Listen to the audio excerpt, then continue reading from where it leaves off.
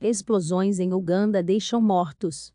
Uma TV local disse que dezenas de pessoas ficaram feridas e que houve duas explosões, uma muito perto do parlamento e outra próximo da delegacia central de polícia. Assisto agora, em Últimas notícias. Duas explosões no centro de Kampala, a capital de Uganda, mataram pelo menos três pessoas, deixaram 33 feridos e incendiaram vários carros nesta terça-feira, 16, informou a televisão local. A NTV Uganda disse que dezenas de pessoas ficaram feridas e que uma muito perto do parlamento e outra próximo da delegacia central de polícia. O parlamento foi esvaziado, informou a estação de televisão. Uma nota da polícia de Uganda publicada em uma rede social afirma que três homens responsáveis pelo ataque foram mortos. Foram dois ataques.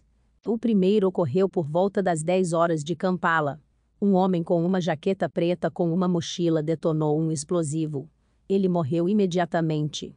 Três minutos depois, um segundo ataque ocorreu perto do prédio do parlamento. Dois motoqueiros detonaram as bombas que carregavam. Os dois também morreram. A polícia afirma que ainda perseguiu um quarto homem, que seria um terrorista suicida. Ele estava carregando um explosivo que não tinha sido detonado.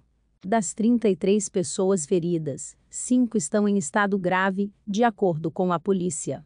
Houve um ataque suicida, que atingiu um ônibus de safari há 22 dias no país.